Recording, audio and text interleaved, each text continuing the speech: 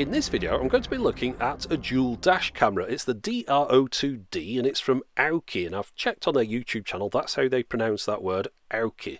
Now this is the first dual dash camera that I've found that's under 100 UK pounds that actually puts in a really good performance. I've got it in my car now and it's going to remain there. Now let me tell you all about it. So we've got two cameras front and back and a load of other things inside the box. One thing you won't have though is a memory card. You'll need to get that one separately. Now because we're recording two lots of 1080p onto the same memory card, I'd suggest it's worth getting a larger capacity one. I'm using a 64 gig card. That means you'll get quite a few days worth of commuting footage on there before it starts to delete the oldest stuff.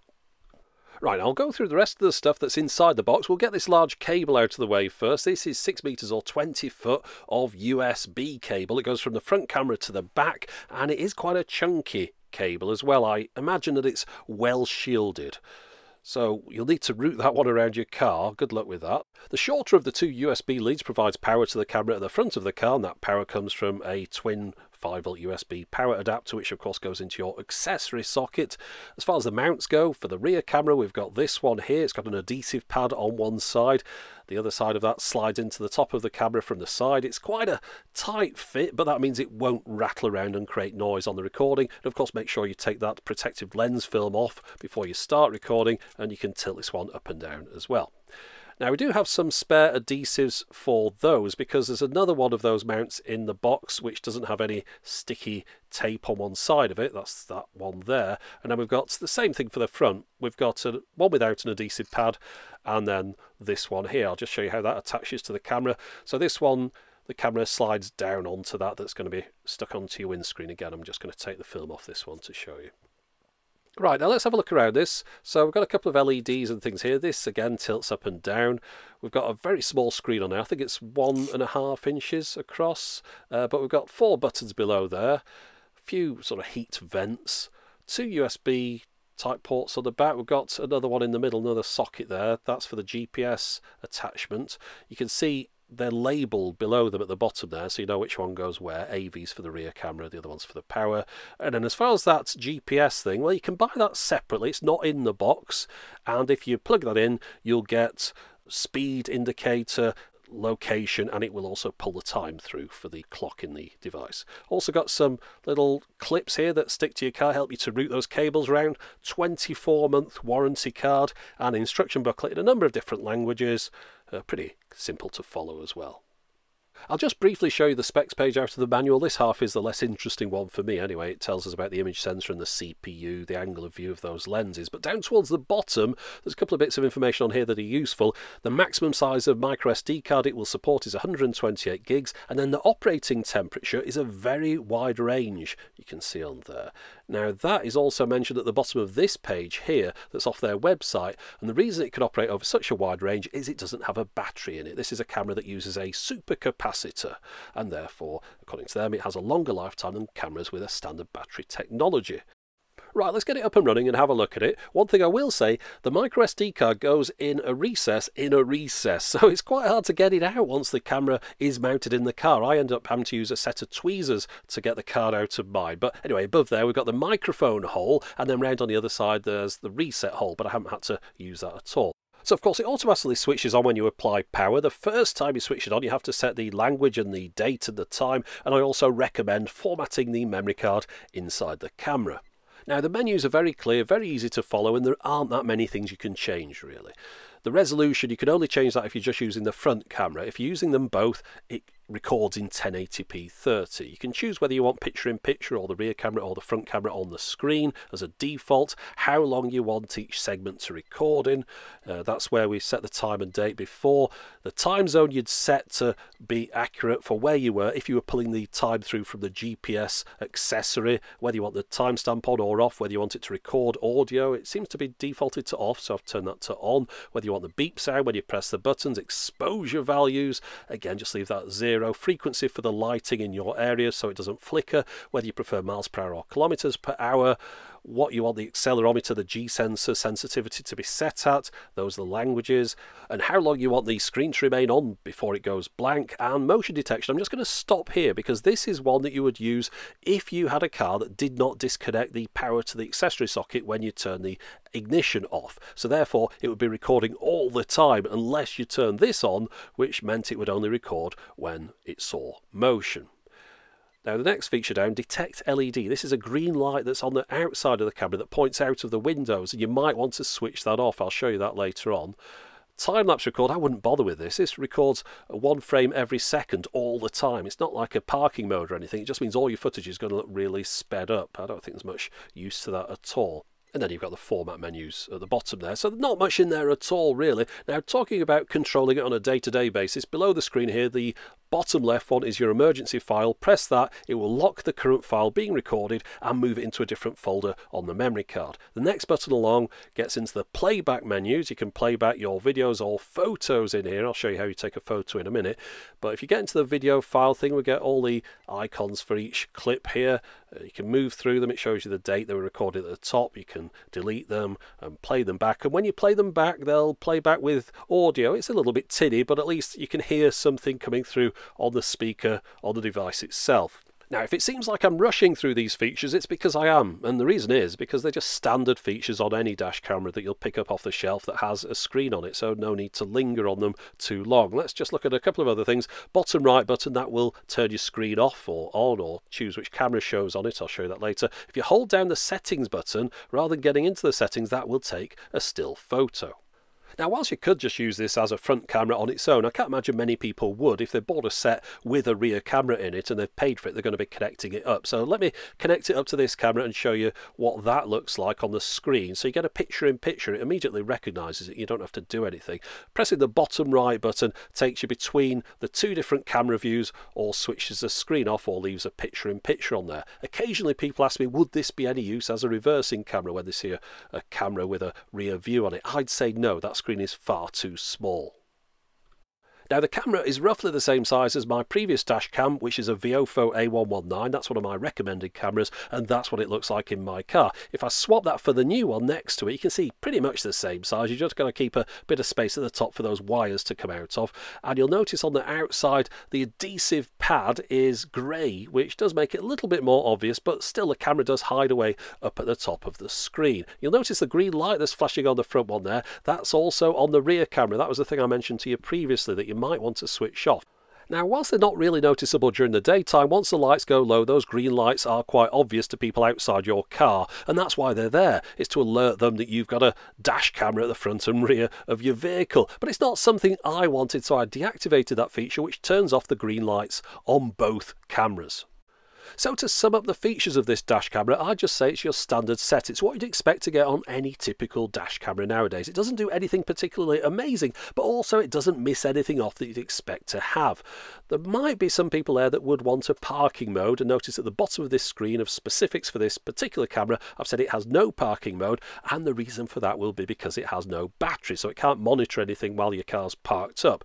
That's because it uses that super capacitor, which gives you the better tolerances for different heat. And of course, you should also get better reliability on a device with no battery over a longer period. Also, I should mention it doesn't have Wi Fi either.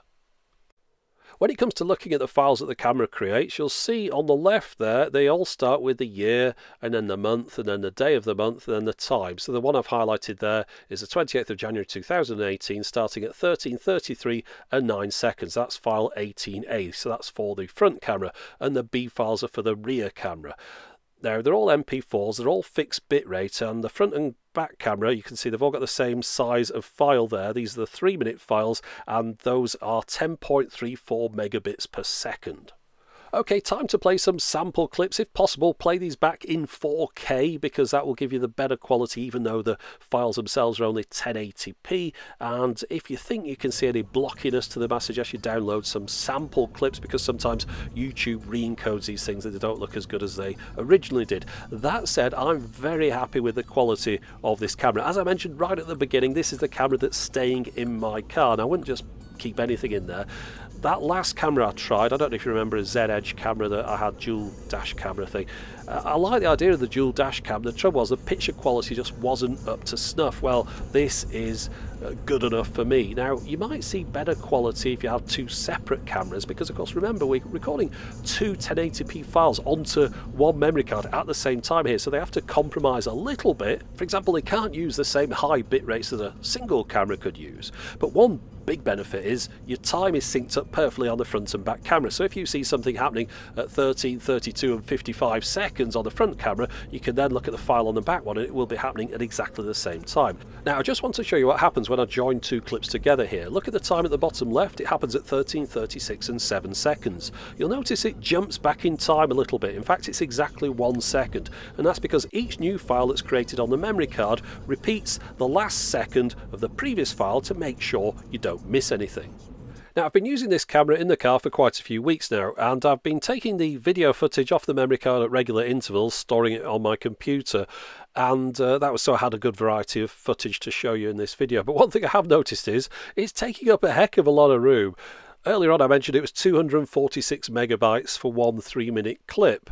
Well of course you've got to multiply that by two because that's the front and rear cameras and it very quickly can fill up a memory card.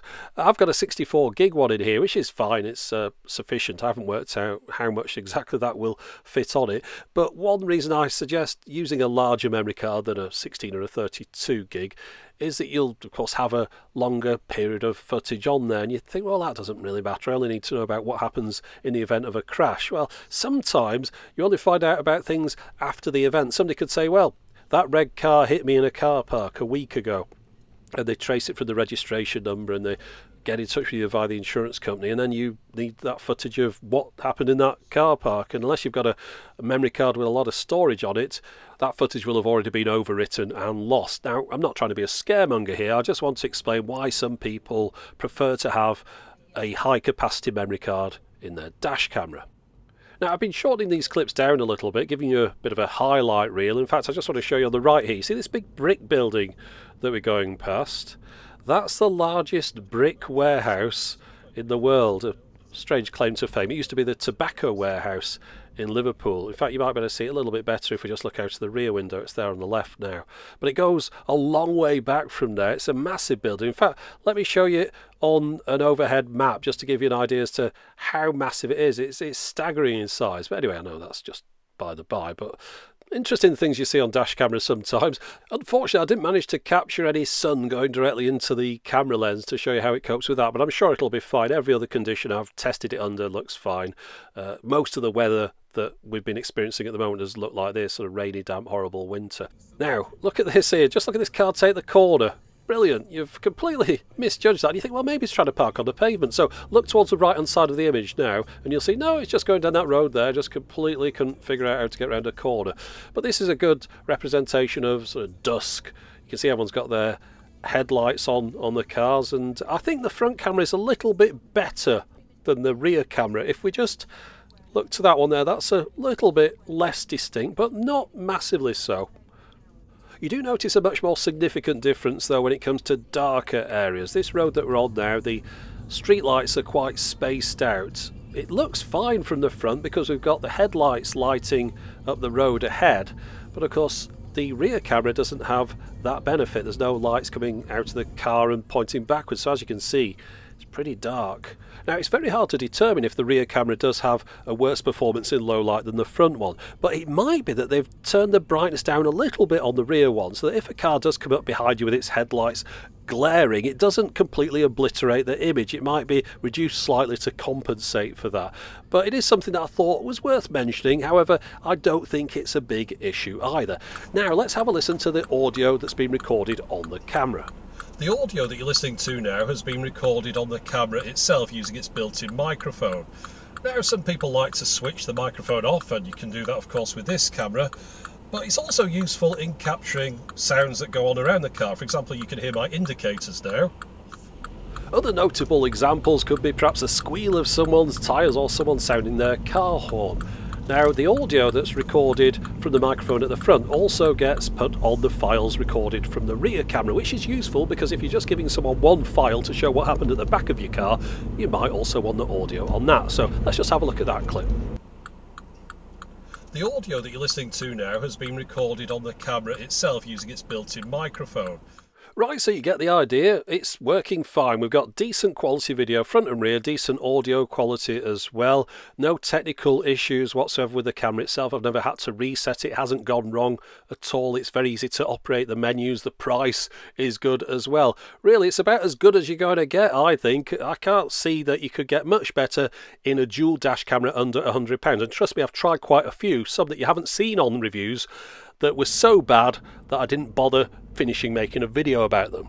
I do have to mention one slight issue though, and it's to do with the car really, I suppose. It's to do with the digital radio reception. Having a rear camera in this car seems to interfere with the radio reception a little bit and weaken it. Just listen to this clip and you'll hear the radio cut out. Oak Furniture Land's up to 50% off winter sale has extra savings that must some. To find a store near you, now, this only occurs in weak reception areas and then usually just for a second or so every now and then. And I think it's a small price to pay to be able to capture footage of idiotic behaviour that's going on behind your vehicle. I mean, just look at this taxi driver now, how close he comes to the back of the car. I wouldn't park that close to another vehicle. You couldn't walk between those two. This is an example of a typical stopping distance. You always leave enough room so that in case the car rolls back in front or you need to go around it because it's broken down, you don't try and put your car so close that you could hold a playing car between them. Now, briefly getting back to the issue of the digital radio interference. Now, it's nowhere near as bad as I had with the previous dual camera I tried, which was a Z Edge S3. That completely cut off the digital radio reception. This camera just weakens it. But after I'd done that review, lots of people got in touch with me to tell me it's probably the USB power adapter. And it's good advice because quite often that is a cause of interference and it can cut a radio off. And lots of people have experienced that. But it is also something that I've got on my website, on my guide to dash cams. as a section on there about radio interference, and I always suggest using a good quality USB power supply. And it's something that I adhere to for the last few years. I've used the same one, which is this one, and it's never caused interference on any camera I use. So it's nothing to do with that, it's to do with the rear camera being near to the DAB aerial. Now, the reason I brought this up isn't because I'm looking for help with this problem. I'm quite happy to live with the fact the radio might cut off every now and then in weak reception areas. I just thought it's something I should mention in the interest of giving a complete review. Let me just demonstrate the problem to you. Right, so in this clip you'll hear the radio playing in the car and then listen what happens as soon as I plug the rear camera in. My favourite parrot joke. A woman went into a shop and saw a beautiful blue and gold parrot, and she said, now, the radio reception here is always very weak because the car is between two buildings with a roof over the top of it. Quite an extensive vocabulary. She said, £20, I'll take it. Oh, and I spent a day trying all these different solutions that you see on screen now without any success. The only one that makes any difference is disconnecting that rear camera. However, I'm going to keep it connected because I value the fact that I've got video of what's going on behind the car above the fact that the radio occasionally cuts out in weak reception areas. And again, I must mention that this is in a Mini in the UK with digital audio broadcasting is not something that affects everyone. But with the exception of that one issue, I'm more than happy with this dash camera. At the top of the screen, you can see I bought mine on the 23rd of November 2017. It cost me just under £100. I've got a link to Amazon in the UK in the video description text box, which will take you straight to this product. I've also got one for Amazon in the US. You can see there it's just about $132. One thing I will say about Amazon, whenever you go looking at something on there, always make sure you click on this promotional drop down. Sometimes there's some good stuff in there. I'm not saying there is right now, but the other week I sent people to look at another dash camera. there was £20 off, or I mean £30 off. Anyway, it's a pretty good discount, all just for clicking on that little drop down. So make sure you always do that before adding something to your basket. But to sum up, out of all the dash cameras I've tested, which is quite a few, this is the one that I've chosen to keep permanently installed in my vehicle. Anyway, that's it for the moment. As always, thanks for watching.